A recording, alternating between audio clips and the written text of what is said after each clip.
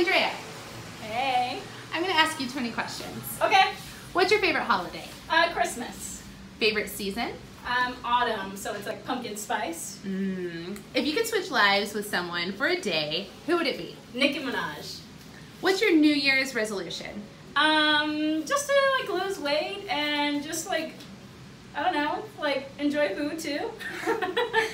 Okay. What makes you smile the most? Um, I think anything makes me smile, but like food, it like gets me dancing.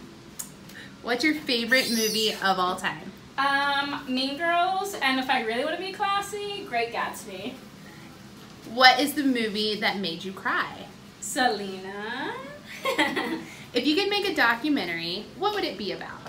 um, my life and my thinking thoughts and um, just everything that I go through throughout the day. I mean, I think everyone would enjoy my thinking thoughts and follow me. Do you like cupcakes? I love cupcakes, but red velvet in specific. Mm. Do you usually bake cupcakes? No, I'm not a great baker. I try and I always fail, so I, I just go out and buy the fancy ones. What's your favorite dessert? Um, I would say favorite dessert would be chocolate cake. Is there a dessert that you don't like? Um, dessert that I don't like, it would be like, I know it contradicts, but like pumpkin pie, it's really not my favorite. What's your favorite local place to eat?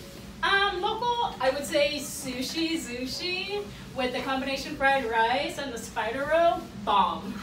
What's your favorite local hangout spot? Local hangout, I would say the Domain, um, or um, Starbucks. Heels or flats? Um, Hills, the ones that are like extra sparkly though. Pilates or yoga? Yoga, but with like animals involved, always makes it a little bit easier.